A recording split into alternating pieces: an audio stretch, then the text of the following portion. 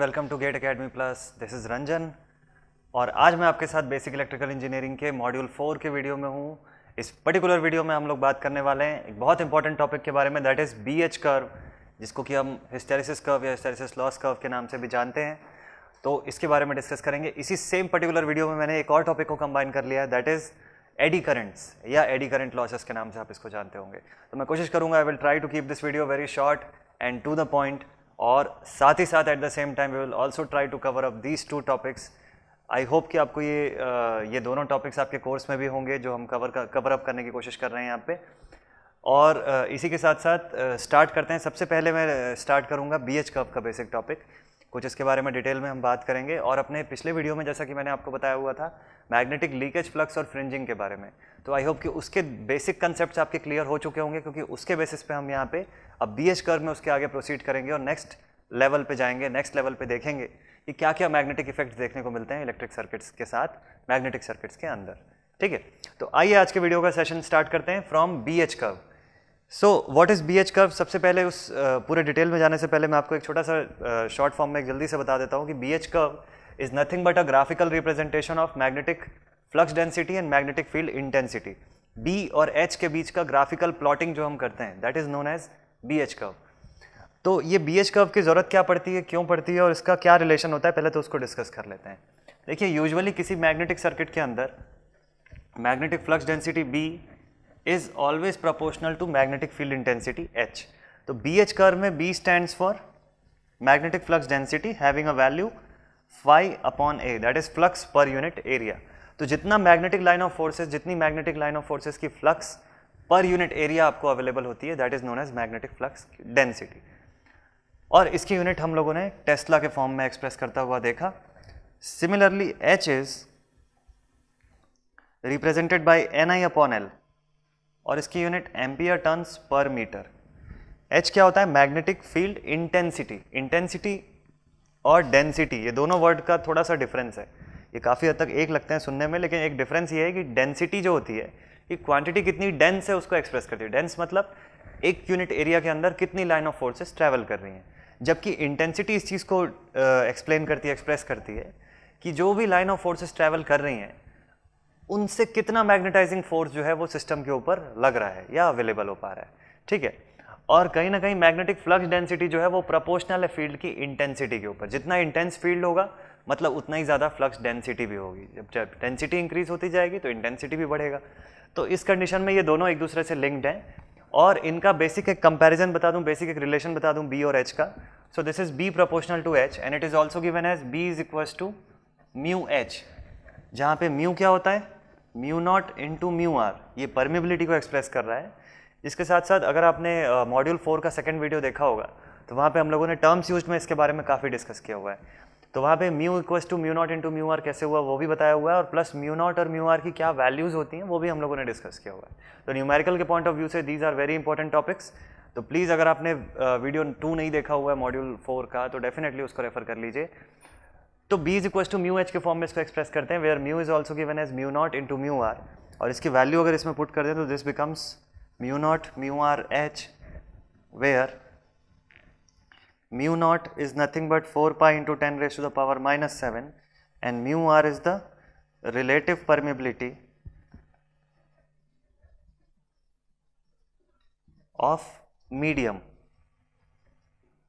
ठीक है, जिसकी वैल्यू इक्वल्स टू वन है फॉर एयर और वैक्यूम तो इतना कंडीशन आपको क्लियर रहना चाहिए हमेशा. तो B is equal to mu naught mu R H अब ये चीज़ देखने को मिल रहा है कि अगर बी प्रोपोर्शनल टू एच लिखा हुआ है तो इन दो क्वांटिटीज़ में से एक डिपेंडेंट क्वांटिटी है और दूसरी इंडिपेंडेंट क्वांटिटी है. तो आपको सबसे पहले ये आइडेंटिफाई करना चाहिए आना चाहिए कि कौन सी क्वांटिटी इंडिपेंडेंट है और कौन सी डिपेंडेंट है. तो क्लियरली देख रहे हैं B is proportional to H H proportional to B नहीं है. That means B is depended upon H तो एच किसके ऊपर डिपेंड कर रहा है वो देख लेते हैं। We know that H is equal to N I upon L H की वैल्यू हम लोग जानते हैं। टर्म्स यूज़ में हम लोगों ने इसको डिस्कस किया हुआ था कि H is equal to N I upon L और if N and L are constant तो हम बोल सकते हैं कि H is proportional to I ठीक है? तो मतलब अगर डिपेंडेंसी के टर्म्स में अगर आप बात करें तो H is proportional to I that means H is depended upon I that is supply current तो सप्लाई करंट के ऊपर डिपेंड करता है एच और इस रिलेशन के अकॉर्डिंग एच के ऊपर डिपेंड कर रहा है B that means you can control the value of magnetic field intensity by changing the value of supply current और सिर्फ़ मैग्नेटिक फ़ील्ड इंटेंसिटी नहीं मैग्नेटिक फ्लक्स डेंसिटी को भी आप कंट्रोल कर सकते हैं, अगर आप सप्लाई करंट की वैल्यू को वेरी करते जाएँगे तो. ठीक है? और इन्हीं के रिलेशन का ग्राफ हम अभी स्टडी करने वाले हैं, जिसको बोलते हैं बी एच कर्व और उस ग्राफ के बेसिस पे हम बताएँगे कि उसके अंदर हिस्टेरिसिस लॉस कैसे होता है और हिस्टेरिसिस होता क्या है, वो भी डिस्कस करेंगे इसी सेम वीडियो के अंदर। तो इस रिलेशन के बेसिस पे आप एक चीज़, एक कंक्लूजन पे आ सकते हैं कि अगर सपोज़ मैं यहाँ पे करंट की वैल्यू इंक्रीज करता हूँ तो उसी प्रपोर्शन में एच की वैल्यू इंक्रीज होनी चाहिए। And on that same basis अगर एच की वैल्यू इंक्रीज होती है तो सेम प्रपोर्शन में बी को भी इंक्रीज होना चाहिए। दिस इज़ द थिंग तो बी एच कर्व जो है वो ट्रेस करने के लिए एक, एक अलग एक इंस्ट्रूमेंटल सेटअप लगता है। तो वो सेटअप कैसा है वो एक बार देख लेते हैं बोर्ड पे डिस्कस कर लेते हैं इसको भी। सपोज़ कर लीजिए कि एक सोलेनॉइडल सेक्शन है एक सिलेंड्रिकल हॉलो सिलेंड्रिकल सेक्शन है पूरा जिस पे हम लोगों ने एक सोलेनॉइड बना के रखा हुआ है। तो ये जो सोलेनॉइड सेक्शन है इस पर कंडक्टर की वाइंडिंग कर देते हैं having N number of turns और L will be the length of conductors in metres तो ये कंडक्टर की वाइंडिंग कर दिया। इसको चेंजिंग मैग्नेटिक फ़ील्ड प्रोवाइड कर दिया। सप्लाई करंट और जो बी एच कर्व हम ट्रेस करने वाले हैं that is the curve that we are going to trace for this soft iron piece जो हम प्लेस करेंगे मैग्नेटिक फ़ील्ड के अंदर। कौन सा मैग्नेटिक फ़ील्ड जो इस सोलेनॉइड सेक्शन के अंदर क्रिएट होने वाला है। इसके बेसिस पे। सॉफ्ट आयरन पीस पी ठीक है? तो इसके लिए हम बी एच कर्व पूरा ट्रेस कर रहे हैं एक्चुअल में। तो ये बी एच कर्व ट्रेस करने से पहले एक काम करते हैं कि ग्राफिकल सेक्शन पूरा बना लेते हैं। Let this be the graphical section ठीक है let it be H in ampere turns per metre and let the X axis represent B magnetic flux density in tesla ठीक है? और यहीं पे हम बी को एक्सप्रेस करने वाले हैं। तो आइए देखते हैं कि कैसे, किस बेसिस पे एक्सप्रेस होगा।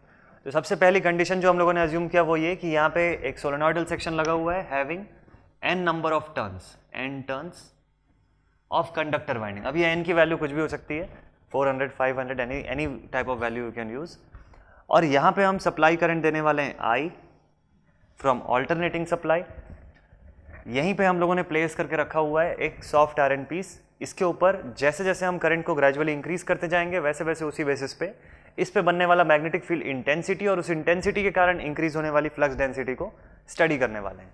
ठीक है? तो इनिशियली देखिए, अगर सपोज़ ये करंट जो भी हम लोग प्रोवाइड करने वाले हैं, इसको हम ग्रेजुअली इंक्रीज करते हैं। कभी भी एडवांस या सडनली इसको इंक्रीज नहीं करेंगे।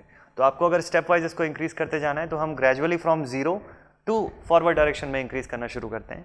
उस कंडीशन में रिलेशन ऐसा है कि B is proportional to H and H is proportional to I तो जब मैं करंट इंक्रीज करना शुरू करता हूँ तो at the same time magnetic field की इंटेंसिटी भी बढ़ना शुरू हो जाएगी। मैग्नेटिक फ़ील्ड की इंटेंसिटी जब इंक्रीज होना शुरू हो जाएगी तो इससे प्रपोर्शन होने के कारण मैग्नेटिक फ्लक्स डेंसिटी भी सेम टाइम में बढ़नी शुरू होगी। तो अगर आप इस ग्राफ को इसके बेसिस पर नोटिस करें तो जैसे जैसे मैं करंट इंक्रीज करता जा रहा हूँ वैसे वैसे एच बढ़ता जा रहा है। एच के बढ़ने के कारण मैग्नेटिक फ्लक्स डेंसिटी बी भी बढ़ता जा रहा है। और एक ऐसा टाइम आता है जब ये ग्राफ ऐसे स्ट्रेट लाइन के फॉर्म में चली जाती है। ठीक है? तो ये ये पूरा जो रिलेशन है, ये कब तक वर्क कर रहा है? जब तक कि किसी भी सिस्टम का कोर सैचुरेट नहीं हो जाता है। फुल्ली सैचुरेशन पे नहीं पहुँच जाता है। देखिए, हर एक जो मैग्नेटिक मटेरियल है, हर एक जो सॉफ्ट आयरन का सेक्शन हो गया या कोई भी दूसरा मैग्नेटिक मटेरियल आप यूज़ करें, उसका एक सैचुरेशन पॉइंट होता है। सैचुरेशन पॉइंट किसको बोलते हैं हम लोग? सैचुरेशन रीजन किसको एक्सप्रेस करते हैं? कोई भी ऐसा पॉइंट जिसके आगे अब आप मैग्नेटिक फ़ील्ड इंटेंसिटी कितना भी इंक्रीज कर लीजिए फ्लक्स डेंसिटी अब इसके आगे नहीं जा सकती। ये उस मटेरियल की फाइनल लिमिट तक पहुँच चुकी है। So this point is known as saturation of core इस सेक्शन पे कोर जो है सिस्टम का, वो सैचुरेट हो चुका है। तो after saturation there is no usefulness for studying इस चीज़ का कोई यूजफुलनेस नहीं बचता। ये कोई इंपॉर्टेंट चीज़ नहीं बचती है इसके आगे स्टडी करने के लिए, क्योंकि अब बी की वैल्यू इंक्रीज नहीं हो रही है। तो हम एक काम करते हैं कि करंट की वैल्यू उस लेवल तक, उस लिमिट तक इंक्रीज करेंगे, जब तक कि कोर सैचुरेट होने के जस्ट पहले वाली वैल्यू हमको ना मिल जाए। ठीक है? सो लेट अस अज्यूम कि ये इंटेंसिटी की आखिरी वो वैल्यू है, जिसके आगे अब ज़रा सी भी इंटेंसिटी इंक्रीज होगी तो कोर सैचुरेट हो जाएगा सिस्टम का। ठीक है?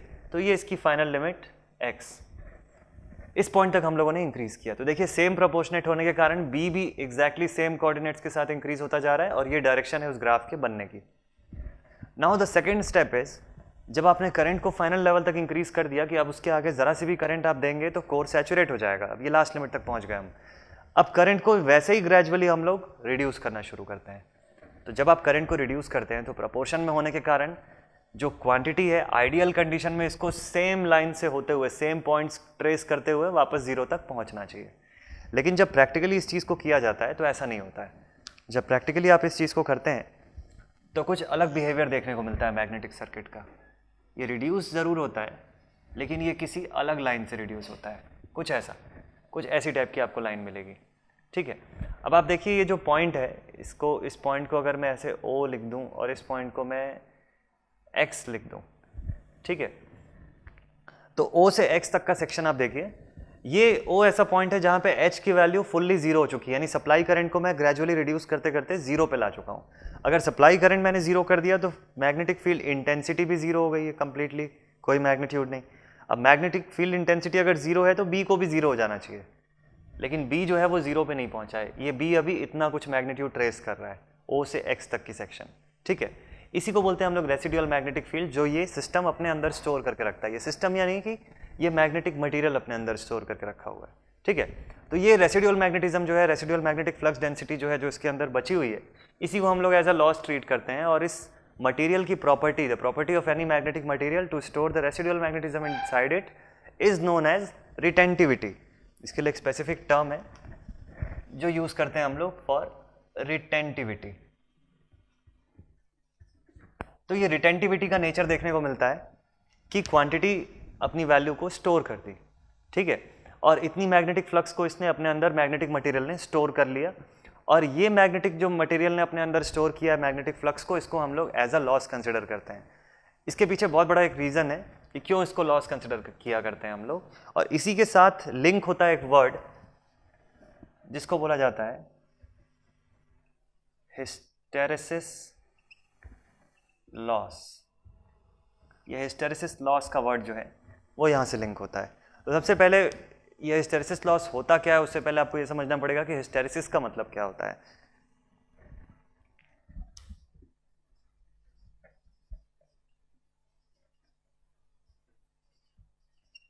ये ऑलमोस्ट कुछ ऐसा एक वर्ड था ह्यूस्टरीन नाम का एक वर्ड ये एक्चुअल में ग्रीक लेटर्स में ये वाला एक वर्ड आता है, ठीक है? जिसमें कि हिस्टरीन वर्ड जो है that stands for lagging behind पीछे चलने को बोला जाता है ह्यूस्टरीन जो फर्दर जो है वो ट्रांसफ़र होके एडवांस फॉर्म में हिस्टेरिसिस बन गया। ठीक है? तो हिस्टरीन वर्ड का मतलब क्या होता है? हिस्टरीन वर्ड का मतलब होता है लैगिंग बिहाइंड जब भी कोई भी क्वांटिटी किसी एक से पीछे चल रही होती है लैग कर रही होती है then that condition is known as hysteresis अब इस ग्राफ पे आप वापस आ जाइए। यहाँ देखिए, आपको दिखाई दे रहा होगा कि h की वैल्यू फुल्ली ज़ीरो हो चुकी है। जबकि b की वैल्यू का ज़ीरो होना बचा हुआ है अभी। ये पीछे चल रही है। ये रिड्यूस ज़रूर हो रही थी सेम प्रपोर्शन में। लेकिन इसका जो जो एग्जैक्ट जो वैल्यू जहाँ पे ज़ीरो हो जाना चाहिए था एच के साथ, उस प्रपोर्शन पे ये ज़ीरो पे नहीं पहुँची। ये रिड्यूस हो ज़रूर रही थी, लेकिन ज़ीरो पे नहीं है। मतलब B is lagging behind H यही कंडीशन को हम लोग हिस्टेरिसिस लॉस के फॉर्म में एक्सप्रेस करते हैं। यानी B lags from H and this is the condition of hysteresis loss इसको हम लोग हिस्टेरिसिस लॉस की तरह ट्रीट करते हैं। अब इसको लॉस क्यों बोलते हैं? चलिए उसको भी डिस्कस कर लेते हैं। Why this property is known as loss और फिर इसको क्यों एलिमिनेट करना ज़रूरी है? कैसे एलिमिनेट होने की कोशिश किया किया, किया मतलब करा जाता है किसी भी सिस्टम के अंदर? तो देखिए जब भी इस टाइप का लॉस हुआ अब आप नोटिस कर सकते हैं कि अगर मैं नेक्स्ट टाइम इस सेम डिवाइस को ऑन करूँगा तो आइडियली इसको ज़ीरो से स्टार्ट होना चाहिए था। और काफ़ी देर रन करने के बाद इसका सेचुरेशन स्टेट आता। है लेकिन अब जब मैं इस डिवाइस को स्टार्ट करूँगा तो since B is proportional to H इसको सेम प्रपोर्शन में स्टार्ट होना चाहिए, लेकिन ज़ीरो से नहीं स्टार्ट होगा ये। चूँकि इतना इसने रेसिडुअल रखा हुआ है तो नेक्स्ट टाइम ये सेक्शन यहाँ से स्टार्ट होगा और स्टार्ट होने के कुछ देर बाद ही ये सेचुरेशन पॉइंट पे चला जाएगा। ये इसकी सेचुरेशन रीजन है। जैसे ही स्टार्ट होगा, कुछ देर के बाद ही तुरंत ये अपनी सेचुरेशन मोड पे चला जाएगा। और जिस वैल्यू ऑफ़ करंट पे ये सेचुरेशन पे गया, वो बहुत कम है एज़ कंपेयर टू इसकी एक्चुअल वैल्यू आप देख सकते हैं, ये पिछली बार ओ से लेके इस एक्स डैश पॉइंट तक जाने के बाद ये सेचुरेशन अटेन किया था इसने। तो ये टाइम ड्यूरेशन काफ़ी ज़्यादा था। अभी इस बार इसने कितने पे अटेन कर लिया सेचुरेशन ओ से लेके वाई डैश पॉइंट पे इसने सेचुरेशन अटेन कर लिया। तो आपकी डिवाइस जितनी बार आप ऑन करोगे और ऑफ़ करोगे, उतनी बार उसका सेचुरेशन पॉइंट पे पहुँचने का जो टाइम ड्यूरेशन है, वो शॉर्ट होता चला जाएगा। और फिर एक ऐसा टाइम आएगा कि नेक्स्ट टाइम जब आप ऑन करोगे तो आपके ऑन करने के बाद ही ये डिवाइस सीधे सेचुरेशन मोड पे ही रहेगी। तो ये वर्क ही नहीं करेगा आपका कोई भी सिस्टम यही रीज़न होता है कि हम लोग इस कंडीशन uh, को इस पर्टिकुलर पॉइंट को एज अ लॉस ट्रीट करते हैं कि ये एक लॉस है और इसको फिर एलिमिनेट करने की नीड जो है वो रिक्वायर्ड होती है। तो फिर इसको हटाने की नीड जो है उसके अकॉर्डिंग क्या किया जाता है? तो चलिए देखते हैं इसके आगे क्या होता है। तो द नेक्स्ट कंडीशन इज़ कि अब जब ये ग्राफ रिड्यूस होते होते ज़ीरो पे नहीं पहुँचा और फ़ील्ड इंटेंसिटी फुल्ली ज़ीरो हो गई तो एक चीज़ तो क्लियर दिख रहा है कि आपने इंटेंसिटी को जब रिड्यूस किया इस डायरेक्शन में तो ये भी रिड्यूस हो रहा है। प्रपोर्शनेट नहीं है, लेकिन रिड्यूस ज़रूर हो रहा है। तो क्या होगा अगर इसी को सेम डायरेक्शन में हम आगे कंटिन्यू कर लें, यानी कि सप्लाई करंट की डायरेक्शन को उल्टा कर दें चेंज कर दें, और उससे मैग्नेटिक फ़ील्ड इंटेंसिटी यानी मैग्नेटाइजेशन फोर्स जो है, वो अपोजिट डायरेक्शन में अप्लाई करना शुरू कर दें। तो ये ग्राफ उसी प्रपोर्शन में रिड्यूस जैसे होते आ रही थी, वैसे ही आगे भी रिड्यूस होती जाएगी। और ये कुछ ऐसा दिखाई देगा आपको। ये ग्राफ जो है, ये कुछ ऐसी दिखाई देगी। इस कंडीशन में आने के बाद यहाँ पे आके ये ग्राफ फुल्ली एंड अप हो जाएगी। तो इसको मैं सी अगर पॉइंट से एक्सप्रेस करूँ तो फ्रॉम ओ टू सी ये देखिए आपको यहाँ पे अपोजिट डायरेक्शन में इतना मैग्नेटिक फ़ील्ड में मैग्नेटिक फ़ील्ड इंटेंसिटी आपको प्रोवाइड करनी पड़ी, ताकि ये रेसिडुअल मैग्नेटिज्म जो है, ये एलिमिनेट हो जाए या रिड्यूस हो जाए। ठीक है? So the force required to eliminate और reduce the residual magnetism in the system is known as coercive force इसी फोर्स को हम लोग बोलते हैं, एक नाम से इसको एक्सप्रेस करते हैं। दैट इज़ कोअर्सिव फोर्स ये वो फोर्स होता है जो हमको किसी सिस्टम को में अप्लाई करना पड़ता है, इस रेसिडुअल मैग्नेटिज्म को फुल्ली एलिमिनेट करने के लिए, ख़त्म करने के लिए। ठीक है? तो अब जब इसको नेगेटिवली हम लोगों ने इंक्रीज किया और ये देखिए बी की वैल्यू फुल्ली अब ज़ीरो हो चुकी है तो एच को फिर फाइनली हम लोग अपनी पीक वैल्यू तक लेके जाते हैं नेगेटिव डायरेक्शन में सैचुरेशन रीजन तक लेके जाते हैं। तो हो सकता है ये इसका नेगेटिव सैचुरेशन पॉइंट है। ये फिर किसी वैल्यू पे जाने के बाद नेगेटिवली आप इसको इंक्रीज करते जा रहे हैं, फिर किसी पॉइंट पे जाने के बाद ये सैचुरेट हो जाएगा। तो सैचुरेशन रीजन को स्टडी नहीं करना है हमको, इसके जस्ट पहले की पॉइंट को स्टडी करना है। तो देखिए, अगर ये लास्ट पॉइंट था जहाँ पे इसके आगे अब आप करंट की वैल्यू इंक्रीज करेंगे अपोजिट डायरेक्शन में तो कोर सैचुरेट हो जाएगा। तो इसके जस्ट पहले, अगर मैं अब यहाँ से करंट को बंद करना शुरू करूँ ग्रेजुअली रिड्यूस करना शुरू करूँ तो इसको आइडियली स्ट्रेट लाइन के फॉर्म में ज़ीरो पे पहुँचना चाहिए। लेकिन ये नेगेटिव डायरेक्शन में भी ऐसा कर्व जो है, वो नहीं ट्रेस करती है। अब ये क्वांटिटी नेगेटिव डायरेक्शन में एक अलग वैल्यू पे जाके रुकती है। और इसको मैं ओ से लेके वाई तक की वैल्यू से एक्सप्रेस कर सकता हूँ। ठीक है? तो आप इसको देख सकते हैं कि ये क्वांटिटी आइडियली इस लाइन से जाके इसको एंड अप होना चाहिए था ज़ीरो पे प्रोपोर्शनली अगर होता तो। लेकिन ये एक अपनी अलग लाइन ट्रेस की और यहाँ पे जाने के बाद इस वाई पॉइंट पे इसने एंड अप किया। तो आप देख सकते हैं ओ से Y again we are having a residual magnetic field और इसको एलिमिनेट करने के लिए आपको फिर से मैग्नेटिक फ़ील्ड जो है वो अप्लाई करना पड़ेगा मैग्नेटिक मैग्नेटाइजेशन फोर्स लगाना पड़ेगा फॉरवर्ड डायरेक्शन में।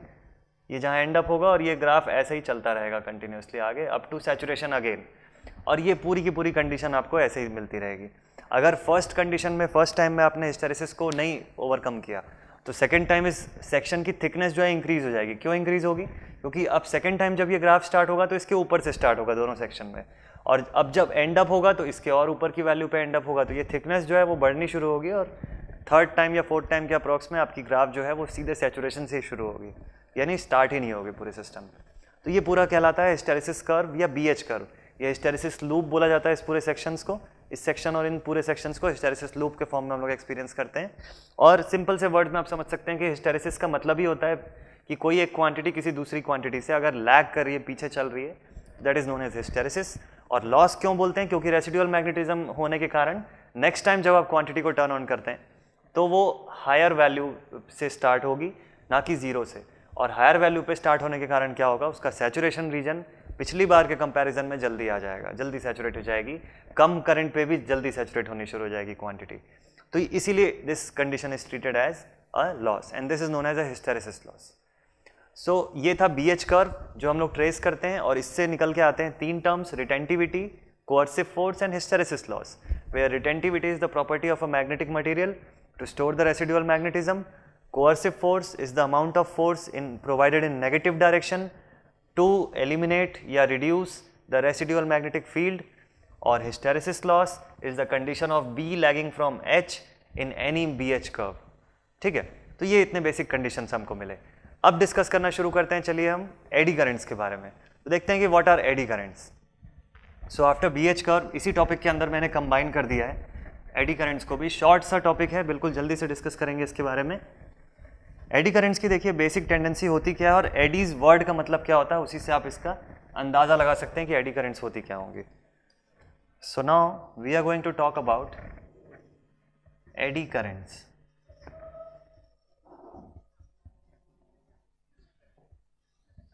जिसको आप लोग हिंदी में भंवर धाराएँ के नाम से भी जानते होंगे फैमिलियर होंगे इससे। तो एडीज जो होती हैं they are actually continuous circular motion of currents eddies जो होती हैं, वो करेंट्स की कंटिन्यूस सर्कुलर मोशन कहलाती हैं। करंट का अगर कंटिन्यूस लूप बन जाए, ऐसे सर्कुलर फॉर्म में तो इसी को हम बोलते हैं एडीज। ठीक है? ये सब पूरे कहलाते हैं एडीज। तो व्हाट आर एडी करेंट्स तो basically the continuous circular motion जो किसी सिस्टम के अंदर, किसी भी सिस्टम के मैग्नेटिक सरफेस के अंदर बनने वाली, जो डेवलप होने वाली करेंट्स है and which are usually opposing in nature from the actual supply तो they are known as eddy currents तो इसको समझने के लिए आप देखते हैं बेसिक सा कंडीशन डिस्कस कर लेते हैं। अगर suppose if we are having a set of conductor इसमें करंट फ्लो की डायरेक्शन आपके पास अवेलेबल है and we are going to see the direction of eddy current तो ये जो डायरेक्शन मैंने बनाया हुआ है अभी फ़िलहाल, इस डायरेक्शन ऑफ़ सप्लाई के बिल्कुल सिमिलर है। एक्चुअल अगर एडी करेंट्स की आप बात करें and if this is the direction of supply current तो आप देख सकते हैं एडी करेंट्स इस सप्लाई करंट को अपोज कर रही है नेचर में।